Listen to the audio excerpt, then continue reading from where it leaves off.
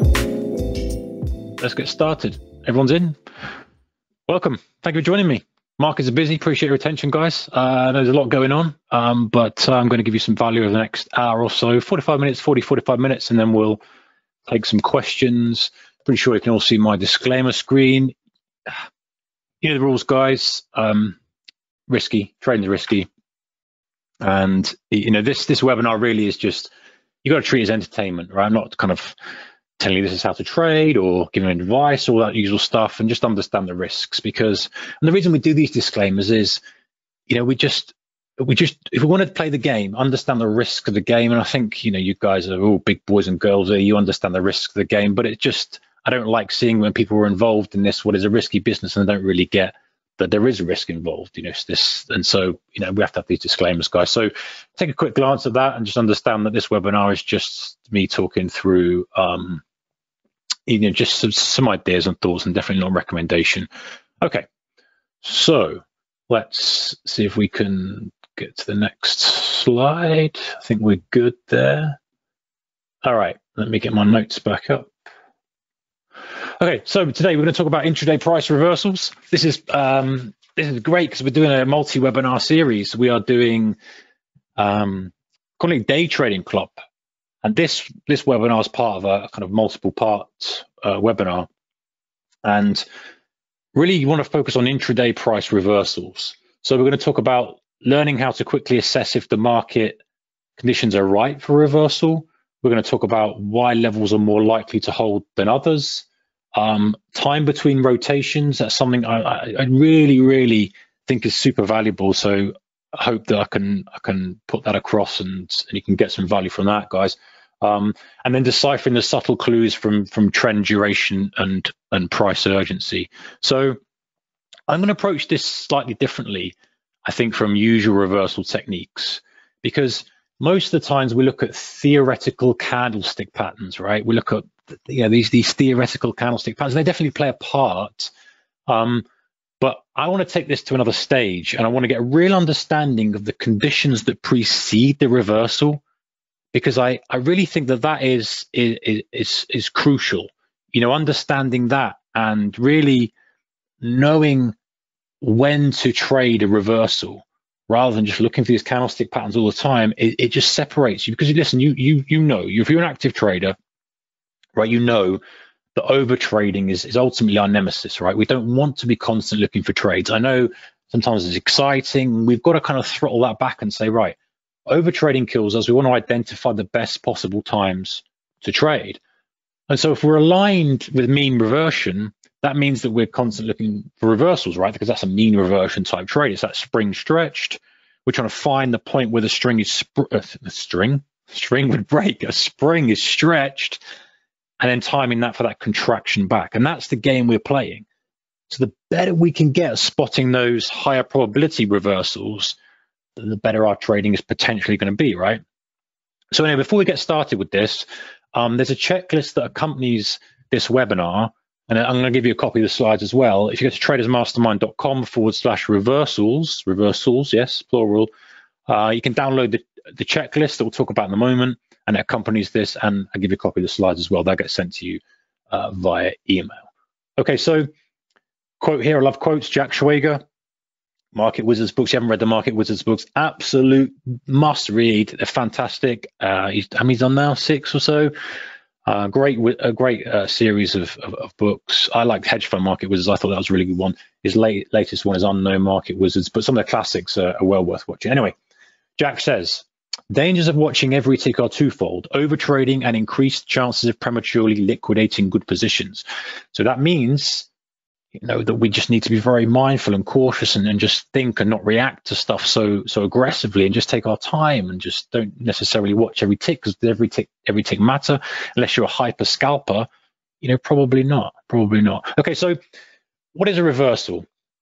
So you know a reversal is let, us understand this first. Before we go into some of the nuances and the subtleties of reversal i really want us to just take a step back and just look at things and, and understand why you know price moves understand why reversals happen because for me that's always been something that i've wanted to do. I wanted to look at the market through a completely different lens to everybody else because i know that if i do that i am going to see things that others aren't going to see and it's going to set me apart. So you know thinking about what are we looking at what is a reversal so reversal is turning point in the market obviously and you know it it can either be a temporary, either it's a pullback and a trend, so the market comes back and then it kind of finds a little level and reverses back up, or it can be major. So we're talking about both of these to a certain extent. We're not trying to uh, differentiate too much. We're trying to look at where these swing points are. And so it can either be major and intraday high or low if we're trading intraday, um, you know, or it can be just a temporary reversal. So it's fine, but we uh, just at one point on this is we have to kind of this make the distinction between the two and the profit potential of each right? Because you know, if you if you happen to get a trade at the low of the day, then that might give you a nice place to be, gives you options to kind of run back to a VWAP, run back to a close, run back to a prior day's high, maybe even hold for a two-day move. But if you're kind of trading a kind of temporary reversal, like a little pullback in a trend or just a little range bound play, you probably just want to take a quick scalp. And so differentiating between the two, you know, helps you kind of frame the trade, helps you structure the trade, and helps you go into the trade knowing, hey, I am looking for this specifically. And so you haven't got the internal conflict. Sometimes we have that internal conflict, right? Of, oh, I should have held the trade. But if you go into it saying, no, this is an A to B trade, it's a temporary reversal, I'm, I'm, I'm, I'm looking at it as that, then you can't beat yourself up if you take the trade off at point B and it carries on running. And similarly, you know, if you take the trade and you say I'm going to hold it and you snatch the profit, you know, you, you have to kind of see how to get better at that. So the better we can get spotting reversals, the better our trades are going to be. So absolutely, it's a skill that's worth honing, right? So what causes a reversal? Um, let's let's let's go back and consider this question in terms of supply and demand, right? Supply and demand, and I I, I really, you know, I always try to look at the market through the lens of supply and demand because that's what it is, right? That's why the market moves. You know, that increased supply, that increased demand is causing this movement. So often I step back and go, right, it's just this is just a voting machine ultimately. And so what's happening at the stall point? and the stall point being that point where we just doesn't reverse yet, it just stops. And then what happens that causes price to turn the other way? And you know, looking at through supply and demand lens, and I did a podcast the other day in Traders Mastermind podcast where I talked what lens do you look at the market through? And this is the lens that I like to look at through. And hopefully, you know, you might go, hey, you know what, that's not a bad way to look at the market. So um, think of these three scenarios. Okay, so we're talking about reversal. What causes a reversal to happen? supply demand. Think about this. Three scenarios causes price to stall. And the reason I'm going through this now is because this then lays the foundation for some of the advanced stuff we'll talk about in a moment in terms of why the market will reverse, what to look for in reversals, the structure, all this type of stuff. But just kind of starting off at the root and going, okay, let's think about this. So why does why does price stall? So imagine the price is going lower here. We've got the five minute chart of, of, of the DAX or the German 40 Pepperstone's DAX equivalent comes down, sellers, it stops, right? So sellers now, think about this. Sellers aren't willing to sell any lower. If they are, there's a buyer holding it. So we kind of get this scenario where it can be, it's normally a mixture of all these, but sellers aren't willing to pay a lower price. So they go, well, you know what, it's down at seven, uh, whatever that's 14,350. I'm not prepared to sell it at 14,349. And then you don't get that print. Okay, that's just what happens. You won't get that print and buyers are happy to kind of hold bids. And that's the stall point, right? The buyers are happy to hold bids. So either sellers stop or buyers are happy to hold bids, and more likely it's both. So sellers are probably still selling some, but there's a buyer says, you know what, I'll, I'll start to accumulate there, or or an assortment of buyers. I'll start to accumulate there. That's where we'll kind of start to buy this. I think it's gone deep enough for, for whatever reason that may be. Now, it might be short-term traders, it might be longer-term traders, it might be, you know, anything, and we can't really decipher that. But all we can say that's the stall point. So it's normally a mixture of the two there. So Think about then what happens, right? Think about what happens.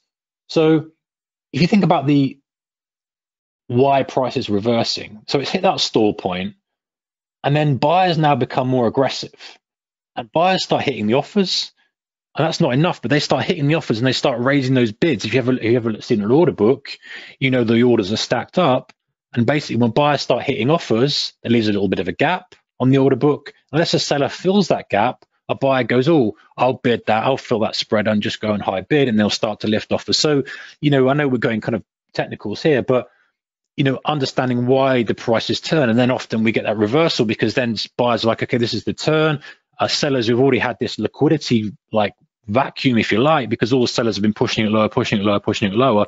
You imagine you've got a group of 10 sellers and they're all the majority of their positions done. That's taken a lot of liquidity out of the market.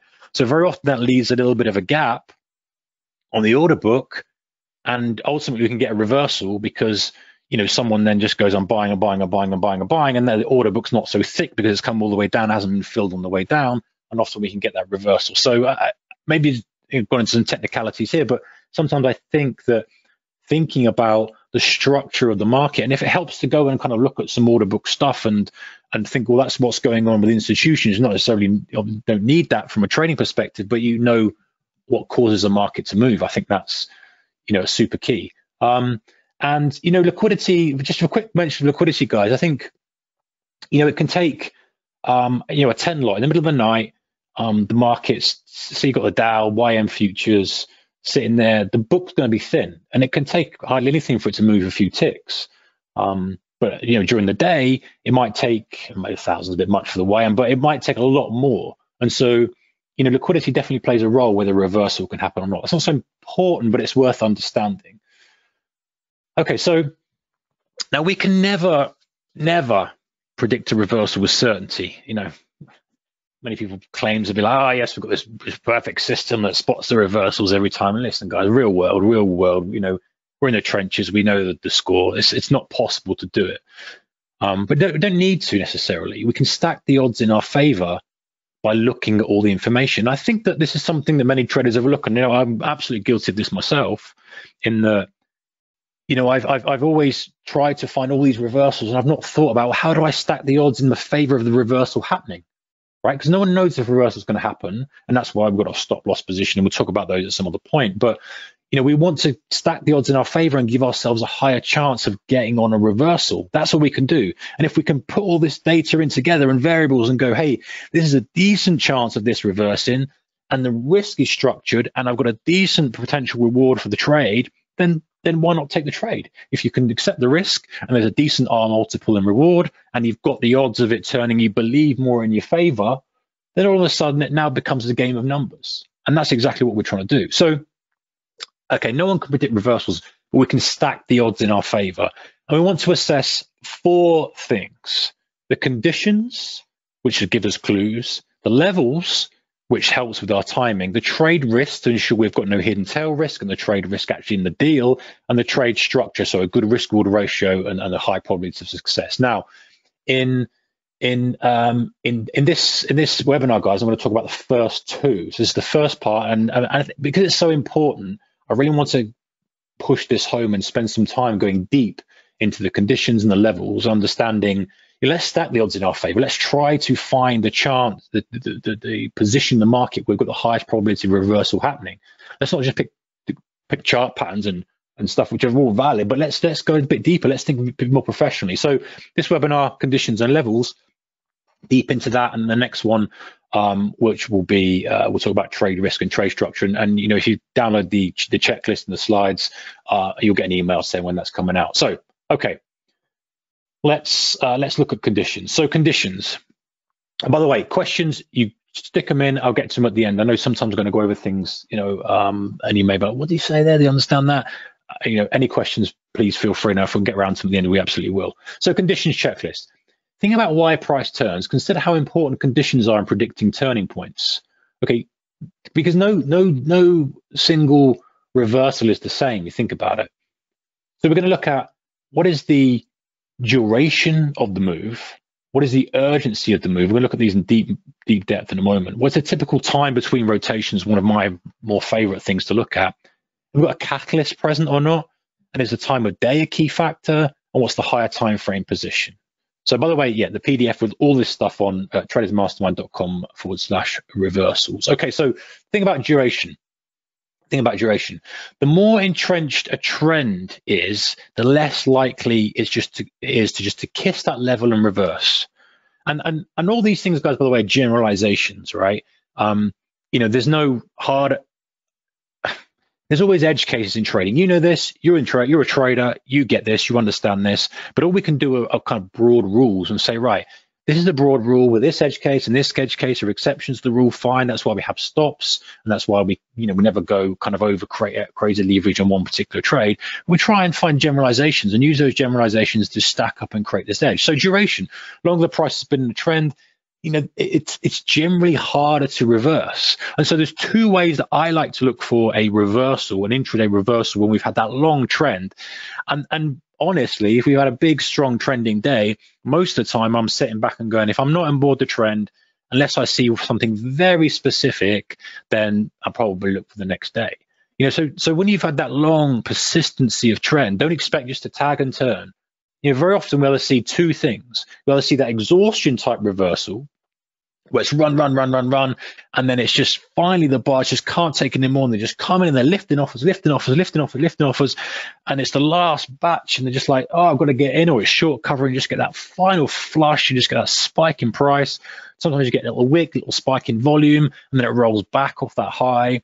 You know, this is the exhaustion type reversal. Very often, very often happens. Um, but the, the, the thing is, you know, that's really what we kind of wait and see. We don't want to just see it go to a level because there's some momentum behind it. Everyone talks about the train, the train moving fast and standing in front of a train. The trend's the train. The duration, if that trend has been going for a long period of time, we've got a big duration there, then it's it's just got so much momentum and weight behind it. It's chug, chug, chug, chug, chug, just expecting it to reverse on a dime. It does happen from time to time, but you know, not having that expectation. So how are you going to fade that exhaustion or a deeper unwinding and a, re, a retest? And let me show you one of those in a moment. So the deeper unwinding and retest is this, is that you kind of see the level, it tags the level, and very often it's going to run through the level. When you've got a big duration, it's going to run through the level and it's going to have that deeper unwinding. And I call that kind of counter trend move that just just tests some sellers in, in, in the case of a, a kind of reversal to downside, just some sellers enough, comes back and retests. So these type of reversal patterns, when you've had a big duration, myself personally, I'm very careful and I will either look for an exhaustion move. And if I'm taking an exhaustion move, I'm going to be very, very quick and take that exhaustion move and come out.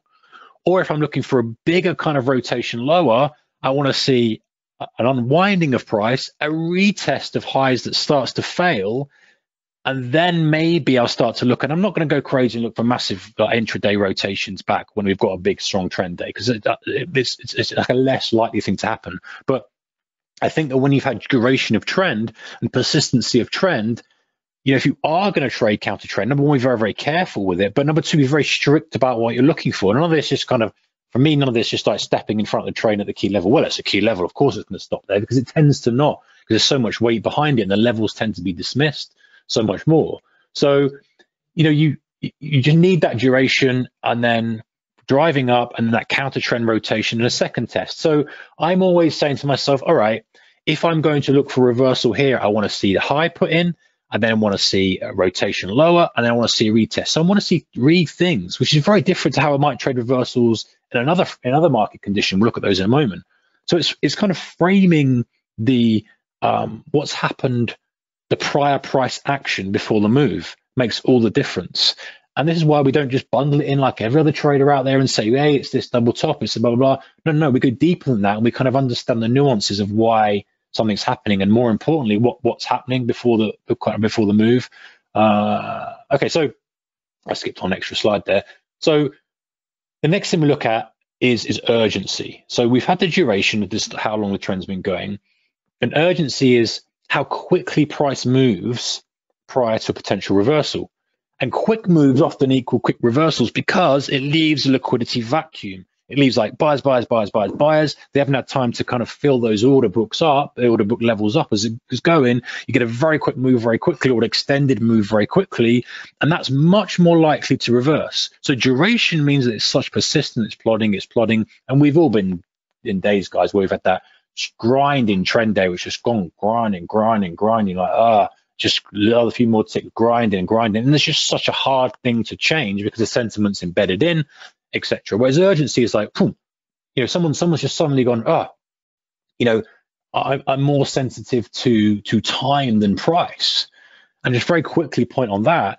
Just imagine you've been given an order okay, you are working for, uh, just put yourself in the position that you're executing an order, right, for somebody. It's a large order. You're either going to be price sensitive or time sensitive. So the difference between the two is if you're price sensitive, you're like, okay, well, I, am going to work my order. I'm going to leave a limit in or I'm going to wait for the price to come to me because price matters more to me than how long it takes. And you might be instructed this, or it might just be you, your preference. You might say, okay, I don't care if it takes me all day or two days or three days. I just want a really good price for this. And a really good price for me is, is less than X. And so you're price sensitive. And that is when you get support levels put in. And there's no urgency. Whereas when you're time sensitive, it's like, right, come on, chop, chop. I want this done in 30 minutes. Get this order filled. If you're time sensitive, you're going to start lifting offers. You're going to start paying up, paying up, paying up, paying up, paying up. That creates urgency, right? And so, you know, when you get that slow grinding trend, it's more like, okay, there's much more price sensitivity there. They're trying to get the best bid. When there's urgency, you get a sharp angle. Angle of trend's quite sharp. Speed of the move's quite sharp. So you could use a linear regression if you wanted to put a, tool on it. But that sharpness of move often is someone who's very, very, very time sensitive. Execute, execute, execute, execute. And then what does that do? Well, that leaves a big liquidity vacuum below. And it's very easy then, going back to the point of liquidity, for price to come lower and start to push lower because there's not much support there. They've, they've, all the urgency's gone. It's like, okay, we're done. And so that's taken out a bunch of buyers. And now there's, if there is supply coming, and sometimes we get these stalls at highs, which mean there's no actual supply. But if we do get supply coming in, then it's left that kind of vacuum, if you like, and, and the uh, reversals can be very quick. So what does that mean to us as, as kind of retail day traders is to kind of look at the angle of the trend, look at the speed of the move, and say, okay, if we've got short duration but quick urgency, uh, we'll talk about catalysts in a moment, which kind of change things a little bit. That's very often going to be a quick reversal. And so then our levels, again, we'll look at those in a moment, become more valid. And we start saying, all right, quick move, very urgent, angle of trends pretty strong. Chance of that coming down, at least offering a short term snatch and grab trade is quite high. Now, this example is obviously a full full scale reversal, but there's not always going to be that. But very often you know, we've seen them guys, these V-shaped reversals that come down really deep. And those you fib guys start drawing your fibs on, your 50% and going, whoa, it's down 50% and it's quite quick. But that's just the liquidity that's that, that's kind of caused that. Um, all right, so um, I'm just looking at my notes here, guys, at the same time. I want to make sure I don't miss anything because I feel like this is uh, you know, there's, there's, some good stuff here. I think this is, you know, this is tactical things. In the day with these webinars, guys, is that you know, I feel that if you can take a few nuggets away, that's all you need. You know, ultimately, you know, maybe not everything resonates with you, but you kind of go on this and go, actually, that that that sounds interesting. Can I implement that in my trading? Um, and so, you know, not everything's going to be spot on for you, but maybe hopefully one or two things. That's really the objective.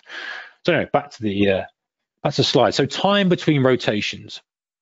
I think I mentioned this before um, on when I had a chat with with with Luke and it's it's a difficult to, thing to kind of put into to context. Um, but but really, if you think about the market, sometimes literally tells us what it's doing, and sometimes we've got to open our damn eyes and go, well, look, you know, what the market's showing us. And sometimes it the depth, the rotations, by the rotations, I mean, you know, we, we're lower and higher, just that oscillation of the market, just the rotation up and down and up and down. You know that's what i mean by a rotation like how do we go how far do we go from high to low before we stall and try and push back up again? And we could still be in a trend but ultimately it's that oscillation between swing point to swing point swing point to swing point. point and you know often we can eyeball these or we can use the measure tool. Many of you guys use use TradingView and pepperstone links up to TradingView now. Use that i think it's the measure tool or it's a tool it's the measure tool it's absolutely the measure tool uh, you can you can literally measure the rotation and this example on gold here it's like these are all nearly pretty. Uh, they're never going to be absolutely spot on, but you've got ten dollar rotations. So you kind of look at this and go, right, how do we use this? And, and very very often, guys, this is happening in markets. You're trading your DAX, you're trading your Dow, you're trading your Nasdaq, you're trading your crude oil, you're trading your gold, you're trading whatever you're trading. And I'm not saying this happens all the time. Very often, the chart is screaming at you and saying, for whatever reason, we are rotating from here to here and then we're stalling and we're rotating from here to here. And the magnitude of those rotations is very very similar. So you go ah how do i use that? Well some of you guys now probably got light bulbs coming on and going well geez i, I get it. I get it because actually if prices come into a key level and we're going to talk about levels in a moment and you and you, know you're having $10 rotations for example you're trading gold and it's coming to that key level that you've marked on, and you've had that $10 rotation from high to low, well, you know, that's a good chance that that level is going to get kissed and pop off it, right? Or if you're trading pullbacks, okay? This is more of a, okay, this is just about a downtrend, right? But range downtrend slightly. You know, if you had more of a, an angle trend and you were kind of looking to trade the reverse, uh, the, the trend reversals to the downside for a continuation move, then if you're seeing these $10 rotations, then why would you get short at $7 rotation off that low? You'd be like, wait, let me just wait. Now, obviously, that, okay, sometimes it's not always going to work and it's not, there's not always going to go to the perfect $10 and say, I've done $10. But if the market has been doing that for the past multiple hours, for whatever reason, where there's an algo in there that's programmed to sell at $10 pops, maybe whatever, we don't even need to worry about it too much. We can go, all right, so why don't I use that to my advantage and start to look, okay, we're eight dollars up, nine dollars up. Okay, it's coming to a level. It's stalling at nine, ten. all right, it's stalling. And then we start to add all the things up. This is what I talk about, you know, stacking layers of edge. If you've got this idea and say, hey, the, the rotations, the rotations, the rotations, the duration of rotations, you go, right, hmm, actually, although sorry, the, the the price, the price movement in rotations, I put time between rotations there, ultimately, ultimately that's something else, but ultimately, I mean, okay, how big is the rotation, then you can start to align your trend and uh, your trade with that and go, the market conditions are X. This is what it's presenting me today. Why don't I align with that? Because if that makes sense, because I'm just going to make the assumption that we're going to continue like that for however long. And, and maybe it breaks, but that's why you've got your risk management in place. But if you can see now, if you're going, well, I've had $10 rotation, $10, $10, okay, the third time, the fourth time, you're like, right, if we start to if you get short, well, I'll look for a ten dollar. I won't look to overstay my welcome. So it's something that is hard to, uh, um, I guess it's hard to spot. But if you're looking for it, then you can spot these. And honestly, guys, when you start to just step back a little bit, take all your all your, all your stuff off your chart, and just look at the chart and just almost say, you know, talk to me, bro. Talk to me. Maybe not quite like that, but almost like, come on, what are you telling me? What are you telling me? What's the story? What's the story around this chart? And if you're stepping back rather than really myopic view of every single candle, you're stepping back and you're going, okay, look, look what we've done here. Look, and then you start drawing out the rotations or even the time between rotations we didn't cover, but sometimes you get that. And you can use that time time tool that kind of says, right, well, every hour we kind of get a little bit buying every hour. I'm going to talk a little bit about that in a moment, but just sometimes the, the answer is just there for us. that doesn't necessarily mean that we just align perfectly with that, but it is going back to the first point, it's stacking edge, stacking edge, stacking edge. And if we stack edge, then we've got a much better chance of success. You can see how this is much better for us and gives us a much more, um, you know, allows us to hone our skills and be less over trading and waiting for these real juicy opportunities. Of course, we're still managing the risk. Of course, I know it's going to happen. But when we start to stack all this stuff, we're only a few few kind of points in. We start to stack all these things up, and we go, "Oh, yeah." All of a sudden, you're looking at it through a different lens. All right. Catalyst present. So, um, you know? I'm a big fan of kind of really understanding the the, the, the catalysts, right? Um, and I won't spend too long on this, but because I know many of you probably trade the currency pairs, majors, uh, maybe trade the indices. So we don't often get the catalysts so much as maybe we do uh, if we're trading individual stock. But you know, you guys can't trade some stocks. But ultimately, what I mean by catalyst is if the market has been repriced. So reprice is when um, you know we have earnings on a stock. Fed's come out and said something. There's been a, an unusual hike, or there's been a non-farm payrolls, or any economic data, and you know you can get the economic calendar. Pepperstone's got the uh, economic calendar. Make sure you're checking, make sure you're checking that out so you understand where the tail risk is coming from the day. And you're not always going to get a catalyst, right? But very often, not very often, but sometimes I can say you're not always going to get it very often, but occasionally, let's say, occasionally you're going to get something where there's a catalyst and it just changes the dynamic and people's perception of the price. So uh, that's interesting, right? Because if we get a catalyst that all of a sudden makes something appear more bullish and go, well, this was valued at X, but now with this news, it's valued at X plus Y. That's how people perceive it. That's what a reprice is. Is that's a rush, and we you know we kind of get those spikes very often. Um, and so if we are trading after a catalyst and from a reversal perspective, the momentum ignition is, is different, but we're focused on reversals in, in, in this talk. But know, we should wait for obvious signs of reversal. So the double test, just like that trend that's been grinding and grinding and grinding, when there's a catalyst, just just you be very careful about stepping in front of it because you don't know where the reprice is going to end. And there's a lot of people going trying to get through a very small doors. People trapped short trying to get out. There's people trying to get on board trying to get in. It just causes that's a different strategy. But if you're trading reversal, the first kiss, the second kiss is often the way. And very often, guys, we get um, I say very often, and quite a few times recently, we've had something that's appeared to be bullish and then it's reversed. And very often that is a really good trade, and, and, and we'll go into depth of that at some point in the future. But that unexpected response, as I call it, is a, such a nice trade where everyone's come in and like, whoa, this thing's ripping. Fed's done this, or blah, blah, whatever it may be. Off it goes, and all of a sudden it starts coming back. No worries, no worries. Starts going lower, starts going low. Everyone's like, oh, geez, right, we've got to get out of here. And all of a sudden it's getting pressed by that supply. People are getting trapped. It's just a nice trade. Anyway, I digress. So is there a catalyst present? Just watch out for that. Okay, this probably has got a damn hour all to its own, this. But time of day, as an intraday trader, you know, we really have to be in tune with the market you're trading. You know, I'm a big, big advocate of, of being in tune and familiar with the potential supply demand inflection points. So time of day can often be, you know, kind of like the touch paper. It can be a catalyst for a change in sentiment or an algos to get switched on. Very often, you know, imagine the European Open, European close happens 430. That very often causes a move on the Dow and the US indices because for whatever reason, maybe there's you know stuff money money flows around the globe, right? Flows from one market to the other, to one type of market to the next, and that money flow. And when one is closed, all of a sudden that just shifts what's available. And so logically, that's going to potentially, if it shuts off supply or it shuts off demand or some demand some supply and it was an equilibrium before, that could easily change things, right? It just makes sense. So we've got scheduled time of day that is super important. The European Open, European Close, US Open, US Close, obviously, if you're trading um, some stuff that carries on trading through that. And, then, and, and there's other scheduled stuff as well. And there's observed things. And you know what? this is this is something that you can come up with yourself. If you sit in front of the screen, you'll have probably seen some of these things. And we used to have, um, you know, thing called noon balloon, where very often the market would just push up, push up, push up, and have that final flurry into the noon time. This was Eastern. And then we've had power hour.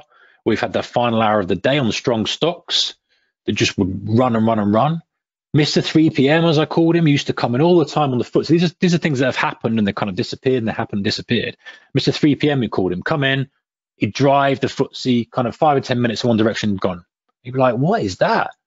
Who cares? I'm, I'm getting long at 3 p.m. and I've got to stop him if he doesn't come back. And some days he would, some days he wouldn't, but you'd know. So the point is, is that if you're very familiar with potential supply demand inflection points and you're very familiar with when markets start to move? Is it the final hour of the day that's very strong? Or does it continue the trend of the day? And that familiarity with the market you're trading gives you the extra edge. You know, little patterns that you start to notice, like, oh, we often get, if we're trending, we often get one more little squeeze into that midday time, or we often get a reversal. You know, one of the ones that happens, we haven't had it for a while, but one of the ones that happens is kind of that low, uh, you know, the low drive, uh, you know, a weak market, and it kind of pops up, and you get that little pop up, just the last it's, it's almost 30 minutes to the close of the US session. And sometimes you set your watch by it, pops up, just takes out some traders, gets them in thinking it's reversal and just goes good night and just flushes down to lows. Now, again, you've got to observe this for yourself and see these these type of patterns and and that's why becoming a specialist is so important. But observing these time of day inflection points and saying, okay, well, if I if I do that, if I trade at that time, does that give me any edge?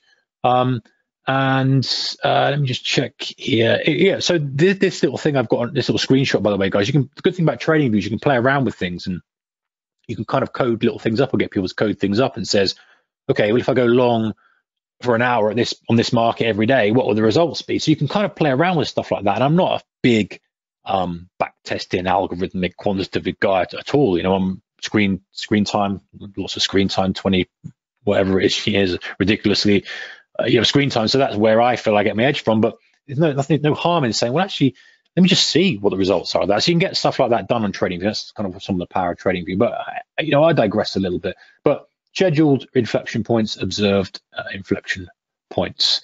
Okay, let's move on. So higher time frame. So the higher time frame is so important. How many times have we said to ourselves, listen, the big money is just driving things. The Big money is driving things. The higher time frame positions key, the higher time frame conditions are key, the higher time frame trend is key.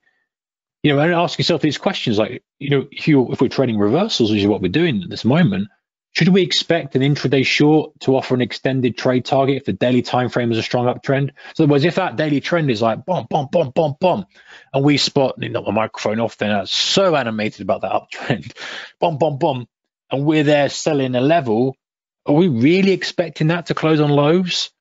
Maybe there's a scalp opportunity, fine.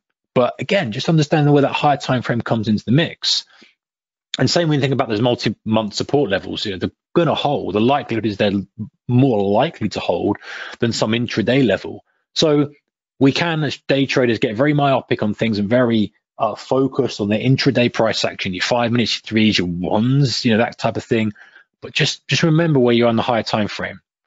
You know, if you want to go one step further, kind of using that higher time frame to line up with what you want to see intraday. So you've seen the high time frame trend, you see it pull back. Maybe intraday you're buying a low for an expectation of a pop back that's going to give you that green candle on the higher time frame. It's going to look like a nice little pullback type trade. So you start thinking ahead of the game. And honestly, guys, always keep an eye on that higher time frame. Um, even if you're a day trader, just helps you align with the conditions and trend. And you know what I particularly like to do, and again, this is just a very personal thing, is you know, I like to very often align my intraday trades with the higher time frame only. So if I think that we're going to have a green candle on the day, maybe we, maybe we just had this, this strong push off a low and we're continuing, you know, I'm only going to look for longs intraday. I'm not going to even trade the short side. I'm just going to look for longs. Is it long or is it not? Rather than is it long or is it short? Is it long? Is it not? Yes. It's like, okay, I'm looking for long. So I'm either going to try and jump on a trend or I'm going to try and jump on a pullback. Just eases the cognitive load a bit. That's very personal. I know some guys go in there and are just very flexible about things. Okay, so high time frame, uh, you know, super important. And you've heard this loads of times, guys. This is nothing new. And none of this stuff is new, but it's just worth remembering. Just double check. Just look at that daily. Just look at the daily. Look, you look at your hourly. Look at your four hourly. I know many of you trade that anyway, but just just think about that. All right, levels checklists. Don't mind I take a little drink, guys. Okay, history does repeat how can we use it to our advantage? So are we near to the prior high low close? How far away is today's open high low? Where is the expected daily range? I'm going to look at that in a moment and show you how I go through the process of working out where potentially that reversal could happen. Where's, where's the expected daily range in relation to trade? Any static levels to be aware of, any dynamic levels to be aware of. Okay, so you guys probably do this, but I definitely recommend marking on your chart your prior day's high, your prior day's low, your close, your um, your regular trading hours high, regular trading hours low, and, and yeah, on that PDF guide you'll get some kind of checklist for that. But just making sure you're aligned with some of the major levels in the market. Okay, now this is interesting. Um, we've got some a few minutes to cover this, which is good. So when I try to align my trades, I like to look at this. Let's go to the day chart and I use a 10 period ATR, right? And okay, what's the what's the expected range of this day? And that's a broad statement, but if we're looking at the ATR and we say, okay, it's 275, fine.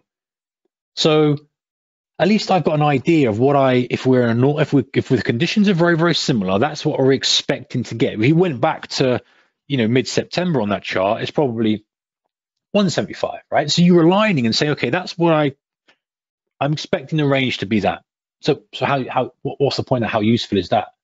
So now we can go, okay, I, I like to use a 10 period, but you know, you can use a 14 period on the daily. We go, right, take that number, write it down, 275, and that helps us guide us to the expected range of the day. So what I then do is I then use that as a framework to get an idea where the high or low of the day could be. Like, well, that sounds a bit ambitious, but guys, that's, that's our job, right? We're trying to get these swing points. If we can get the high or low, great. Or if we could hold it. So this helps guide us. If I go right, 275. Okay, so what I would then do is I get the, that tool on TradingView that would give me 275. And I go, okay, if I think the low of the day is in, where would 275 take us? So if I'm I'm making some assumptions, which we've got to, I assume that the the, the, the trend and the the volatility is going to be similar. There's no reason to think that. There's no catalyst, there's no data, so I, I can make that assumption. So I assume that we're going to get 275 bucks range. give or take, right? We, that's an average, right? It's average true range and it's average over 10 periods. So it's not, but it's it's it's a rough area. It's not 50, it's not a thousand. It's going to be about right. So if I look at the trade and go, okay, if I looked at this chart right now on the hard right, which is what we have in the real world, I go, okay, if I believe the low of the days in, where would a normal daily move take us? A normal daily move would take us up to that level there because I've got my 275. If I think the higher the day is in, then I again use that tool and go, what would a normal day look like? So, how useful is that? Two things. That's four. Two things. You go, okay, if I'm looking for a big reversal, I don't really want to be starting to fade reversals looking for a bigger move until I've seen that 275 point range. And Brendan Mine is going to take some time to do and all the other stuff we've got to think about. But I'm not going to start selling it too early if if we've still got another 70 bucks at expected range to do.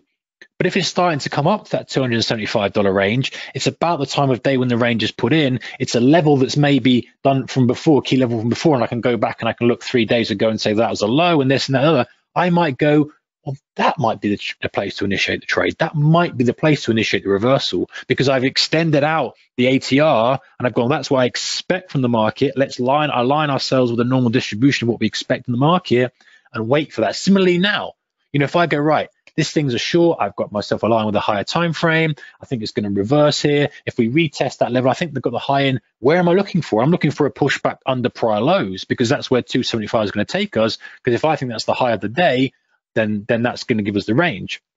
And that might be like, okay, that's that's that's maybe asking a bit much. Fine. But another way you can use it is if you are long and it's chugging along and you say, hey, I want to extract the most juice I possibly can out of this trade, then again, you use that tool and say, maybe you got long, just it broke through that prior high.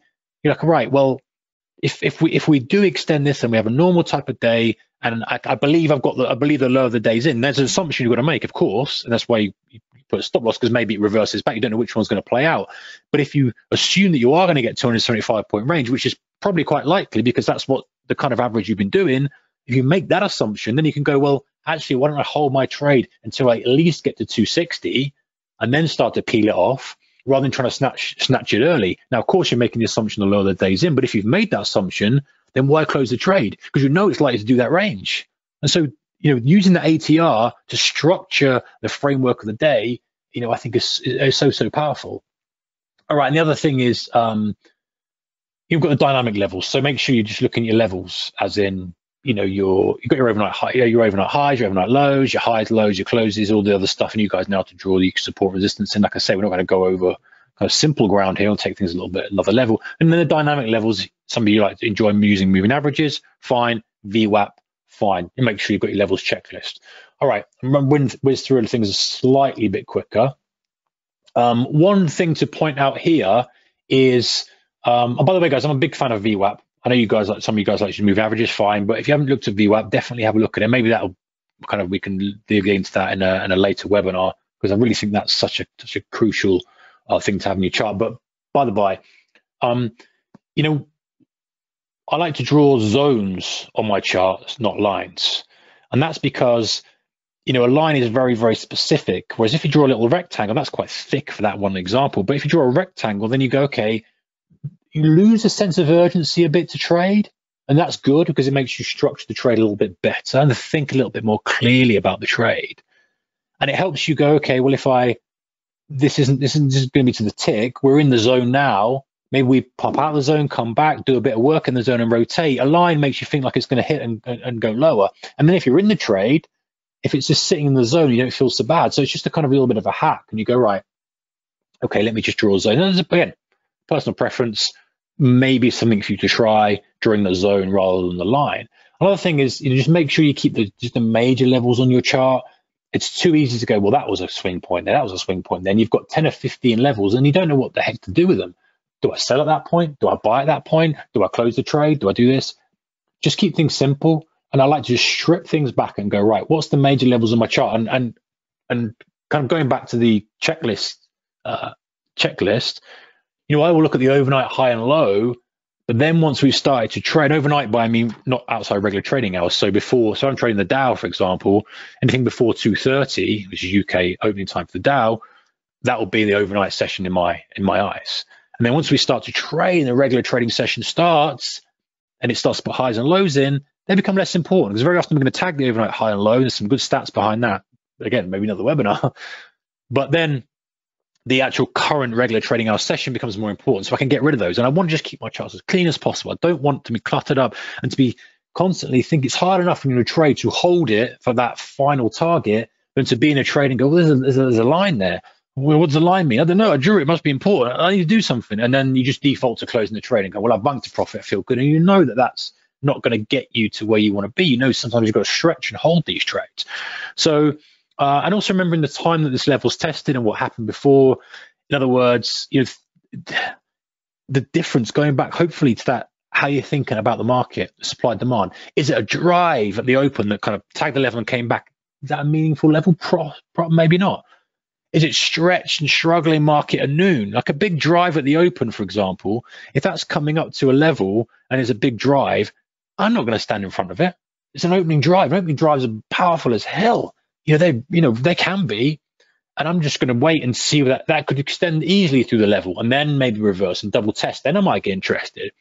Versus if that level was there and it was a market that was stretched, it'd been kind of, uh, and it's noon and it's lunchtime, and there's no volume, and it's just like limping up to that level, then you bet I'm going to wait and see if I can see a reversal candle there. I'm going to sit in front of that and I'm going to try and get short on that. Again, personal thing, not advice, but there's a difference to how the market approaches the level. And as a day trader, your job is to differentiate between those and go, hey, we're at the open, we're ramping off the open, this thing could rip. I don't want to step in front of this versus or, or if I do step in front of it, I want to see damn someone else has got to put their put their money first and see it come back and retest and maybe do this and a few more things for me to see before I even consider taking the short versus a market that's stretched, stretched, stretched out to a level that's like running out of steam. It's been rotational. It's like the last little thing right at noon, lunchtime. You know, then that's way more enticing as a trader from an intraday reversal perspective. All right, so um, but, but before I go to the next webinar, guys, just run through the summary. The summary is we looked at things into thinking in terms of supply and demand. Okay, so keep thinking that you're observing a voting system, right? It's a voting system that's represented by the chart. And I think that we can get so caught up in the, looking at the candles and trying to decipher the candles, and it's just people behind it. Even the algos are coded by people, so there's a brain behind it somewhere. You know, remember your conditions, so again, you get a copy of the slides, guys. You go to that uh, master, mastermind.com reversals. You go back and slide nine. We talk about the conditions. So it's super important to get a feel for the conditions because no conditions are the same. We want to have put the uh, the weight in our favor, or, or swing the odds in our favor, should I say? Duration, how long the trend's been going, the urgency of the trend. You know that's key for whether we want to step in front of it or wait for a bit of this and that and sometimes just just being a bit cautious and going oh you know do i want to that, that looks stretched it's lunchtime it's spiked up it's left a lot of liquidity vacuum i'll have a go there i'll put my stop in i'll get a quick snatch profit quick scalp to the short side great versus that grinding trend that's been going on and on and on and there's no way i'm going to step in front of that. I need to see that pull back first and come back. It's a different structure to the reversal then the catalyst has it been repriced completely or not? That it, it can often create a significant move in one direction, and that's important to remember. Time of day. There's one thing. I think this is the, the biggest one. Is if you really like focus on your one or two markets, just recognizing the time of day, the difference. Even as simple as going, there's the open, there's my lunchtime chop, there's my close and then split it up into more and go, okay, we often get the open and we get a change of trend and we get that. And very often there's patterns to this. Why often algos are switched on our 30 minutes after the open. Often we get these stop runs at the open that drive through the Friday's low. That's a great pattern in itself. We had that Friday's low put in, boom, flush through the open, takes out everybody who thinks that, especially we had a two or three day down move on the daily chart, takes out everybody and then just rips straight back up. Very different structure to that lunchtime trade, which is grinding. Maybe it's just, just not letting people out, different feel to it. So, you know, thinking in terms of, hey, the, the, the time of day, and what's the time of day doing? Time of time between rotations talked about that, or the length or the duration of rotations, should I say, and the higher time time frame. And then and then once you've got all that, which a lot of people aren't doing, is why you know you get the edge by looking at that stuff and you go different, different market, conditions are different, duration's different, trends different. and then you add stuff in like your levels, which everyone knows how to draw levels in. But you're if you just filter out levels to be the really key ones, that's so much better. So you're over, uh, or you open high low close, you prior high low close, your overnight high low, all that stuff, and then framing that in terms of ATR and seeing where there's confluence and go, whoa, look, actually, if we do the range that we expect to do today, we're going to come right up to that prior day's high. Hmm, that's interesting. And if that's in the time of day, like it's a lunchtime, and lunchtime happens to be the time in your market we often see the reversals, how different is this to now look at the nuances of the intraday candles the shooting stars, whatever it may be, versus just looking at that? That's a lot different. You've got this, this, this lined up, and the reversal is far more likely to happen if you look at that data and, and assume that to be okay. I'm aligning the things in my in my favor rather than just taking that candlestick pattern that everyone knows in the middle of nowhere or in the middle of the open. It's a much a much more different professional approach. You're thinking differently from the rest. You're not just drawing the lines on your chart and fading every move. You're kind of aligning with the bigger players, the rhythm. You're playing chess, not checkers. You're taking all the relevant info and, and stacking that the odds in your favor. And so, okay, guys, you know that's it for this webinar. Um, We'll do some questions in a moment, but next webinar, I want to talk uh, kind of part two on this, which is risk management, stops, targets, when to run the reversal trade, ideas to improve your entry. So we're going to take it one step further because we need to manage the risk. We need to understand where the stop's going to be, you know, how we're going to come up with the targets, when to run it versus when to just take the A to B trade, how to come up with target, ideas to improve the entry. If you kind of FOMO into stuff, how do we kind of throttle things back? How do we adjust? How do we use you know some of the thinking to get a little bit of better entry and not miss out on stuff. So I'm going to go into into depth about that. So uh, yeah, if you tradersmastermind.com forward slash reversals, told you about that. What else? Get the checklist, get a copy of the slides. Happy to give you that, and you'll get notified of the next webinar um, if you get that. Hope that's helpful. Any questions? Far away. Um, there's a couple here. I'll have a look at. How can you tell if it's the low or high of the day. You can't. you can't tell. You have to basically go make make you have to make some assumptions as a trader, right? You have to basically say, okay, we know that the low, the high and low, especially in the, in the indices, are put in in the opening 30 minutes. So if you've seen that flush to the downside and then it's popped off that, then we kind of and, and, especially if it's aligned with some, some sort of higher time frame all this other stuff we go well actually um, that's interesting because that could easily be the low of the day because we know that the low of the day is often put in the first 30 minutes and we know that we've kind of flushed lower the higher time frame you start to make some assumptions now obviously we manage the risk and we don't just blindly go in but that gives it maybe an indication that we could have the higher day or the lower the day. Same if we saw like got a noon pop and it's stretched and it's right away from the VWAP and it's above prior high, but it's not much volume and all that, and it starts to come back off here. You know, that could easily be the high of the day. Much more different to, you know, uh, you know, just a nothing move in the middle of nowhere or or some other different structure to it. So it's about making kind of some assumptions. Uh, what's a liquidity vacuum? So a liquidity vacuum is, you know, when when prices you know, in the order book, you've got these levels stacked up. You've got buyers and sellers stacked up. And when a buyer comes in, say a buyer hits the market and it kind of takes the order book, bang, bang, bang, bang, bang. He takes all those bid, it uh, takes all those offers, sorry. And then he maybe he's putting some, and there'll be algos that are just putting some bids in. You leave this liquidity vacuum where before the order book was quite thick, maybe had hundreds stacked on each level, just for argument's sake, hundreds, hundreds, hundreds. He comes in and buys 2,000. There's a few little scraggly twos and ones and fives and tens that are in that bid on the way up. So the price levels are filled with twos and threes and fives and tens rather than hundreds. All of a sudden, that takes hardly anything for it to sweep back down. So that's why you get those liquidity vacuums, especially you guys that trade DAX know this all too well. Goes through a low, flushes through a low, boom, and then just rips back, hardly giving you any time to get in the deal. That's because the order book has just gone super, super thin, and someone's come in and it's not taken, you know, 25, 50 lots for it to just shoot back up five or six price levels. So that's kind of really looking into the structure of the market much more. And you definitely don't need that. But if you understand how that works and understand how trades are transacted and what's going on beneath the surface, I think it gives you, you know, a bit of bit of help.